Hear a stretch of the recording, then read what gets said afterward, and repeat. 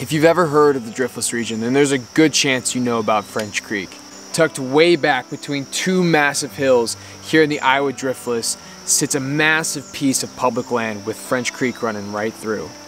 Not only are we going after the premier brown trout this state has to offer, but we're going after a piece of history. If you've ever caught a brown trout here in the Iowa Driftless, there is a almost 100% chance its genetics run all the way from this stream itself. But we'll get into that a little bit later. For now, let's get after some fish.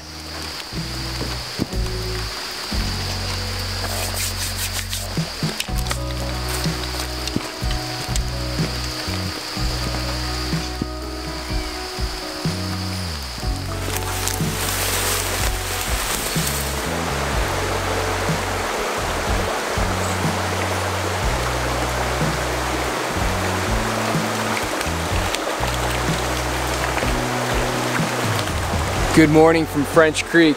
This is our first little brown trout. And not only our first, but a very special piece of Iowa trout history. We're gonna get this guy back real quick and yeah, see if we can't get some more. That guy came off of our nymphing rig. I'm using the Ghost Tech strike indicators to hold up my double nymph rig. Just two flies, Iowa guys, don't worry. But scuds are a main source of food here, so I've got a pink squirrel, which is a driftless killer, and then just on another really subtle scud-like pattern. Got some split shot on it, and we actually got that guy on the pink squirrel, so hopefully we can get on some more, man. That was so stinking cool.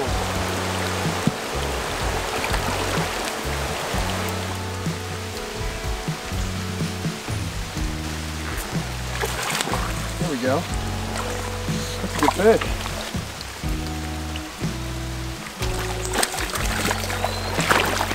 Oh no!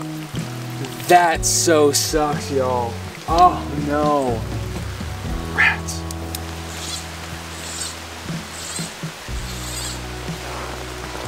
Oh, no way. That wasn't supposed to happen, y'all. Well, I don't even think you guys caught any of that. I just was uh, getting my line out and he freaking smacked it. That's so silly. There we go, we got him on the bottom fly that time. That's pretty cool.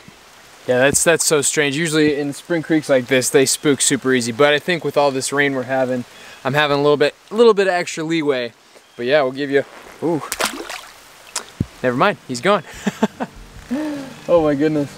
All right, I guess we keep at it.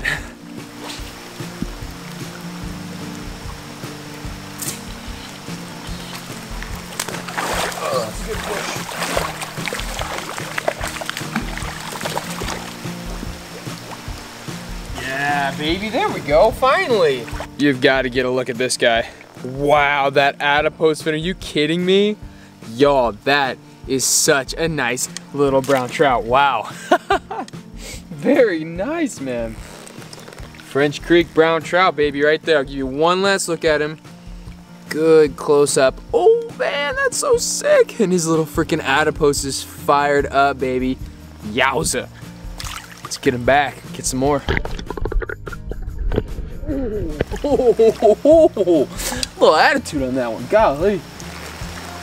Whew. I hope this rain kind of gives way soon. I'm getting, uh, I'm getting a little wet up top. I'm glad I put on some extra layers, man. I can't tell if it's freaking fall or summer, man. Goodness. Fall's coming though, gosh. Oh, rats. Oh no, that's big rats. Phenomenally. All right, one break off and one retie later, we are back in the game. Oh man, I almost did it again.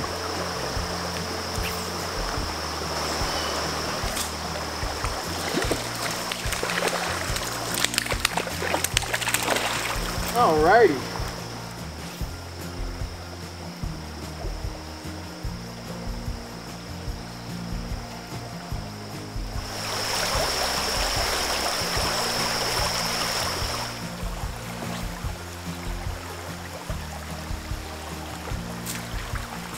Oh, yeah, just a little guy.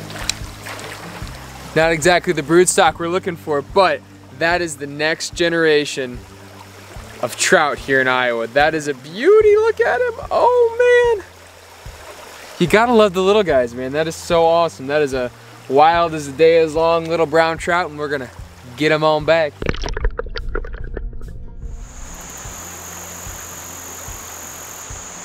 I cannot believe it, but the sun has finally decided to come out after a rainy, cruddy, kind of cold morning. Really felt like fall, oh my gosh. We are finally seeing a little bit of summer, man. Good knit. But I'm gonna take this opportunity right now to kind of talk about the wild brown trout here at French Creek. And we're gonna start the story way, way back. Because for those of you who don't know, brown trout, they aren't native to the driftless. They aren't really even native to the United States. They've become naturalized over time as bucket biology has kind of moved its way all across the nation. But one of its stops was here in Iowa. And French Creek was the first place where they really got a, a nice natural hold and they really started to reproduce and you know put up some good numbers of fish and that's why the Iowa DNR uses French Creek every single year. They come through and they shock this entire stream and they grab the biggest, meanest, baddest brown trout that are here and they use them for the brood stock. And so they, they strip the eggs and the milt and they actually use those to repopulate all the other streams here and, and restock other streams here in the driftless. The Iowa driftless, that is. So, whenever you're coming to a little place like this, check it out, Google it. I mean, there's a lot of cool history with a lot of these streams, but this one in particular, this is ground zero for all the brown trout here in the Iowa driftless, which is really neat. So, enough mumbling. No more history lessons. Let's get to fishing, y'all. Golly.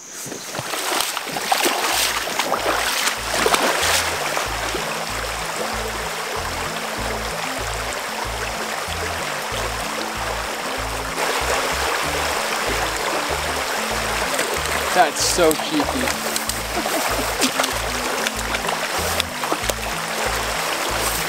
this this one for sure goes out to my dad because this is exactly the kind of hole he likes to fish. Just deep, sitting there, just kind of picking apart, picking apart lanes. And I had a couple bites, but he was the first one to take her, take her and go, man. Look at that little guy. Focusing, but bam. Beauty of a little brown out of that deep stuff. Oh my gosh, do you see the spots on that guy? That's ridiculous.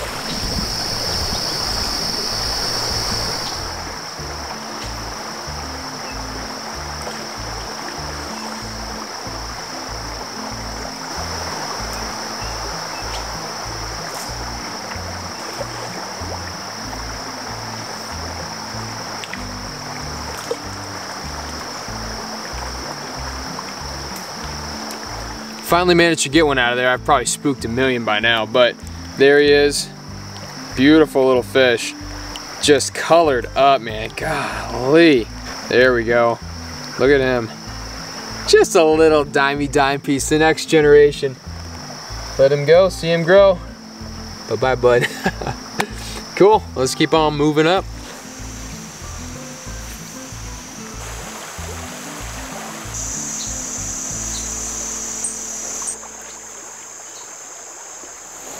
Our morning bite has seen a massive nosedive as that summer sun has gone up. Ooh, these fish are getting spooky. So I think that's my calling card to get the heck out of Dodge and maybe find a plan B.